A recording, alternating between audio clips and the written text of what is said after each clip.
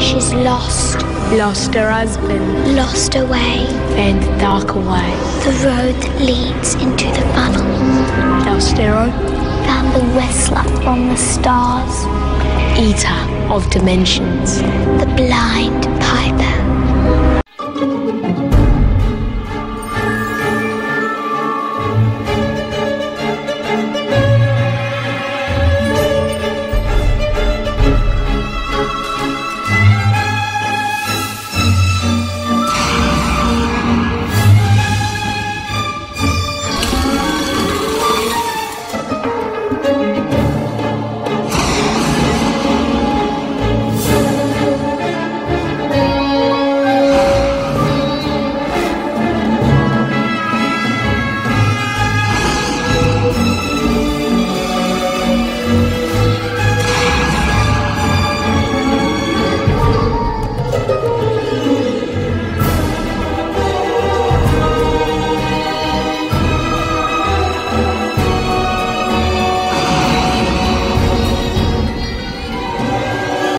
Hello everyone and welcome to another video review by Centipede Geek. Today I'm going to talk about a TNT original television series by the name of Monday Mornings. I'm going to discuss my thoughts and opinions upon episode 2 titled Deus Ex Machina. And forgive me if I pronounced that wrong. Anyways, uh, let's get to tonight's episode. Tonight's episode was about a lot of stuff. We had pretty much the main gist of the episode was about a little girl that came in and she has uh I believe she has cancer or something like that, like a brain tumor in her head or something like that, and she has cancer and she pretty much says, you know, I don't she says, you know, I don't she's made the decision, she's a very mature girl for being at the age of 13 and she says, you know, I don't want to have any more treatment done. I don't want to go through chemo or anything like that. Uh, she says, you know, I want to die in the next few months of natural causes and not be hooked up to machines or wires. I want to live out the rest of my life in you know in just being natural and not being having to live in a hospital for the next few months. Uh, and that's what she said. And that that when she said that to Alfred Molina's character, that was the literally the best moment of the episode. She actually, I wasn't sure if she was gonna live, but I found out later on in the episode uh, that she ended up did she actually did end up living. Uh, and then she asked Alfred Molina's character to do something for her, uh, to shave his head. That way she would smile, and he shaved his head. Another nice, kind of comical, but also another little sentimental moment in the series.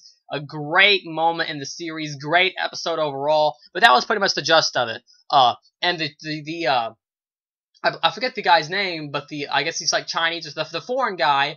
I hate to refer to him that way. I'm not meaning to sound racial, but the foreign guy in the series says he's you know he says you know she, at first she doesn't want to do the surgery. She does not want to go through with the surgery at all. She's like, I've had too much surgery. So this entire episode, pretty much, they're trying to convince this little 13 year old girl saying, if you're not going to have the surgery, you're going to die. And the little girl is perfectly okay with dying. So throughout this entire episode, they're trying to convince her, you know, hey, you gotta have this done. You know, Ving Rhames' character, he tries to convince her. Alfred Molina, he tries to convince her. Uh, Keong Sim, uh, the foreign guy, he tries to convince her. So, I mean, they're really trying to convince her. And of course, by the end of the episode, they end up convincing her to have the surgery, and she ends up living after all. So, you know, they weren't for sure. It was like a 50 50 thing, and then ended up playing out in the good range where she ended up living. A great episode. Uh, a few other minor things happened, like, I forget the girl's name, but the girl was asked out by uh, by John Lieberman. I forget the actor's name, but John, John Lieberman's character, I think that's his name. Uh, John Lieberman asked out a girl. We also found out that the I forget the guy's name, but the shaggy hair doctor, that's what I'm gonna call him because he has shaggy hair. Huh.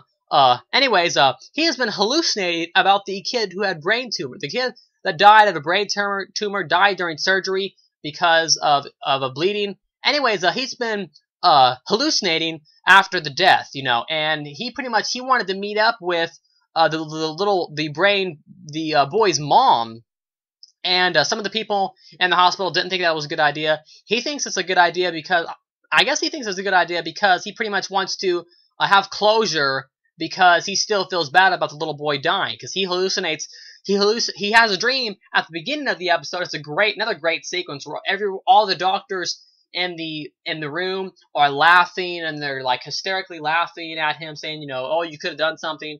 He, he dreams, and then he's talking to a patient, and he ends up having another hallucination of the boy's mother. And uh, just throughout this entire episode, he's hallucinating about what's happened. Uh, those are pretty much the two central main points in this episode. Uh, my favorite parts of this episode, like I said, uh, definitely was when the little girl and Alfred Molina's were talking, and they were trying to convince, you know, he was trying. She was saying, you know, I don't want to have to be hooked up to machines. I don't want to have to go through chemo. She was giving him uh, her life story, and just a great kid act actress. I've never seen her in anything, but for for being for being a kid, she did a fantastic job. I'm not saying kids can't act, but she did amazing. You know, for a kid, you know that's that's that's awesome that she can do that with with her with her vocal delivery, with her facial expressions. I mean, everything was spot on. I literally, no joke, wanted to cry at that exact moment of episode two, titled uh, Deus Ex Machina. And the reason it's titled that is because it's something that she references, and then Ving Rhames and 50 other characters reference this idea in the movie. And I won't say what the idea is if you don't know what it is. Uh, that way, you know, it can kind of surprise you.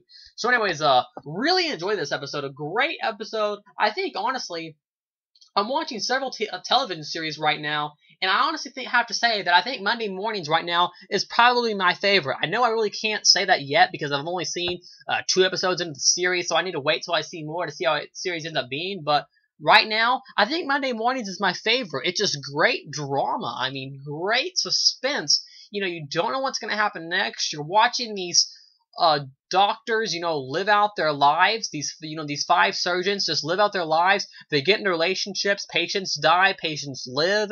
Uh, they have these, uh, you know, group sessions every Monday morning. That's why the title of the series. Every Monday morning they have these sessions, you know, analyzing whether or not they're going doing a good job as being a surgeon. Uh, just just a great series and uh, I don't know if they plan on having any other seasons. I don't know if they plan on summing up the book all in one season or progressing it to have more than one season. I would love to see Monday mornings last for a good five or six years, maybe even ten years, but you never know with TV, right? Anyways, uh, next week's episode, uh, let me try to think of something else, uh, before I get into, before I end the video. Let me try to think of anything else that I really enjoyed. Like I said, that one moment there was a moment towards I really like Keong Sim. He's he's the foreign guy I was talking about. I think he might be one of my favorite characters in the show, uh, if not my favorite. I just you know Ving Rhames is really cool. Alfred Molina is really cool, and Keong Sim is also a fantastic actor. I haven't seen him in anything. Uh, I think he was in the Last Airbender, the live action adaptation of you know of the Nickelodeon television series Avatar. But I really enjoy him. He's just he's just really cool. Uh, he was he also tried to convince her, you know, hey, don't do the surgery and I just I every moment with him was just great. I he's cool. I just a really cool character. Really enjoyed him. Uh, I also enjoyed Ving Rhames. Ving Rhames is a phenomenal actor in this movie. There's a point. There's a there's a part where he says he tells the girl about miracles, and he said, and she's she's not convinced. Alfred Molina is not able to convince her. So they're all in the same room. Alfred Molina, uh, Keong Sim, and then uh, Alf, uh, Ving Rhames, and Ving Rhames says, you know, he refers to the whole Deus Ex Machina thing and says, you know, miracles can happen, so allow us to do this miracle on you. And uh, that was that was a great moment. I I really enjoyed that. They also refer to God about two or three times in the episode. A nice sentimental moment all the all the way up, and it just made the whole episode a nice sentimental episode overall. Uh, just good stuff. I love Monday mornings. A medical drama at its best. Anyways, uh, next week's episode is episode 3 titled Who's Sorry Now? And uh, it looks really good. Uh, just five doctors dealing with the drama that goes with working at a hospital. Anyways, uh, like I said, episode 3 titled Who's Sorry Now? If you're curious, it comes on every uh, Monday night at 9 o'clock Central, 10 o'clock for everyone else on the channel TNT for those of you who have satellite, Dish Direct, Cox, whatever it might be. Anyways, once again, thanks for watching. Make sure to like, comment, subscribe to my page below, and I'll see you guys later with more episodic reviews of Monday mornings.